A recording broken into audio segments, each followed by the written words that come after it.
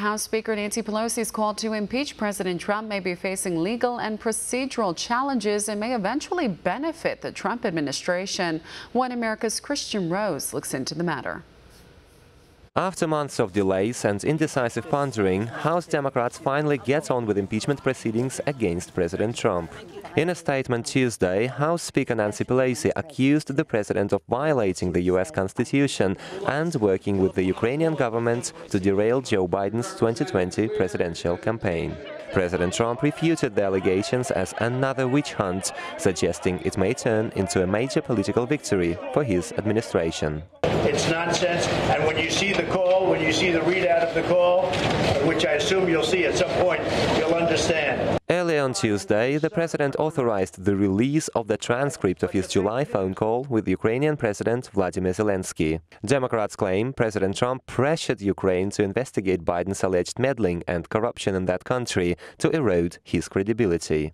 Such claims have been refuted by both the president and Ukrainian officials, putting into question the legal grounds for the impeachment inquiry. There was no pressure put on them whatsoever, but there was pressure put on with respect to Joe Biden. What Joe Biden did for his son, that's something they should be looking at. It was not immediately clear how Pelosi decided to advance her impeachment call without seeing the transcript of the call or the Intel whistleblower's complaint.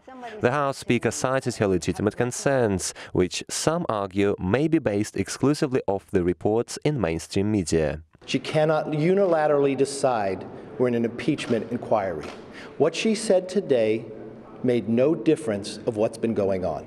Some point out there is no evidence of President Trump asking President Zelensky to investigate Biden, so he drops out of the 2020 race. Which raises the concern Democrats may have moved on impeachment to protect Biden, who faces questions of alleged money laundering from Ukraine into the US. That story was investigated by John Solomon of The Hill.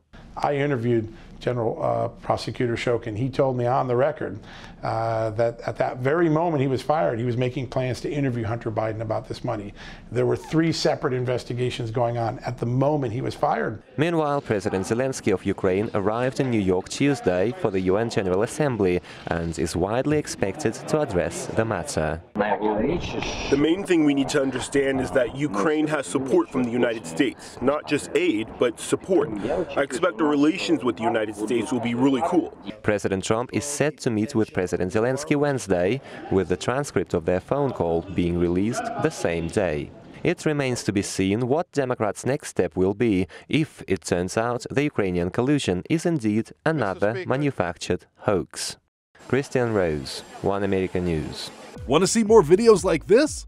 Click on the link below and subscribe to One America News on YouTube. And call your cable provider and kindly demand that One America News is added to your lineup. Call and subscribe today.